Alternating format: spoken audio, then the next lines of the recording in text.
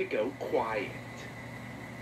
This the new reality after suspending play until further notice because of the coronavirus. The NCAA pulling the plug on March Madness.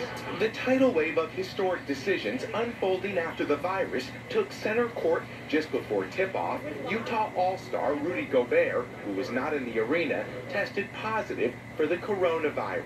The game tonight has been postponed. As fans flooded out of the stadium, concern after Gobert's Monday press conference, where when asked about the virus, he jokingly touched every microphone before leaving. Now teammate Donovan Mitchell also tested positive. Gobert has apologized. Economically, the impact is vast and broad, not only on the teams and the league themselves, but also on the concession workers in the stands and also on the local businesses that surround the stadium. Tom Hanks and wife Rita Wilson, now the public faces of the pandemic after testing positive and being hospitalized in Australia. We have uh, world-class doctors uh, that are determined to uh, look after them and give them the best possible care. In New York, even the bright lights of Broadway are set to go dark for a month. Talk shows like Ellen No touch, no even shaking my hand. will tape without audiences for now. The future of American sports and entertainment in limbo as the coronavirus reshapes the way we live and play.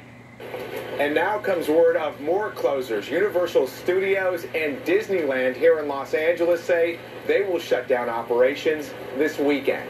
Francis? Miguel, thank you.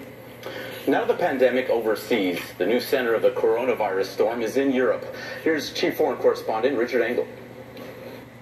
The CDC says Europe is the new epicenter of the epidemic, with 70% of new cases originating here. And countries are falling like dominoes, one shutting down after another. Ireland reporting its first coronavirus death, now closing schools. The Irish Prime Minister with President Trump. We need to do this for a couple of weeks uh, to make sure the virus doesn't spread. In Italy, the death toll rising over a thousand. Officials already banning most public gatherings and ordering a three feet separation in public. NBC's Matt Bradley is there.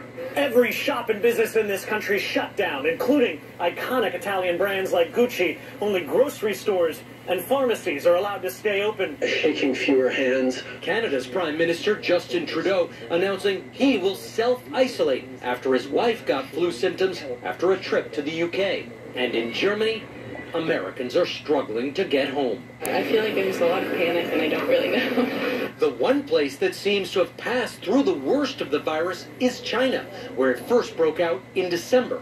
The last patients were discharged from hospitals China crash built. China used the full force of its one party state to contain this virus, including locking down Wuhan, a city of 11 million people. It did work, but it was extremely um, draconian, and uh, and I just don't know that we need to be quite that aggressive. And how long the peak outbreak might last in the States, experts tell us weeks or maybe months. All right, our thanks to Richard Engel for that report. And the coronavirus has taken an absolute wrecking ball to Wall Street. Dow futures are regaining some footing after the worst day for markets since Black Monday in 1987. Another drop could make it the Dow's worst week of all time. Yesterday's free fall forced another 15-minute halt in trading for the second time this week. The Dow bleeding over 2,300 points before the close. All right, a phrase you may be hearing more about, flattening the curve. It's been circulating in the media.